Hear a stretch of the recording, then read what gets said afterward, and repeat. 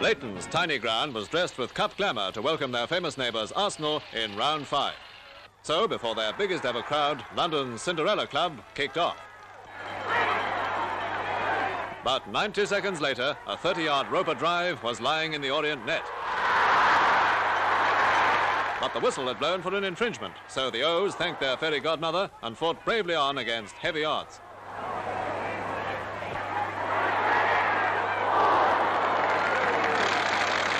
But 12 minutes later, Lewis scored number one for Arsenal.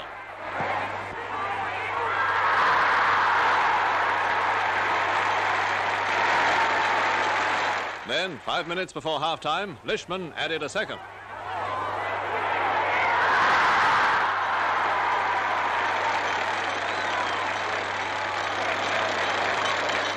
Time was running out. It was nearly midnight for the Cinderella Club, but one final fling had that famous Arsenal defence reeling.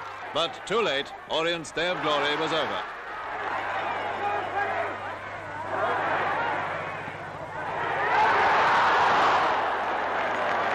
The last stroke sounds as Lishman taps in Arsenal's third goal.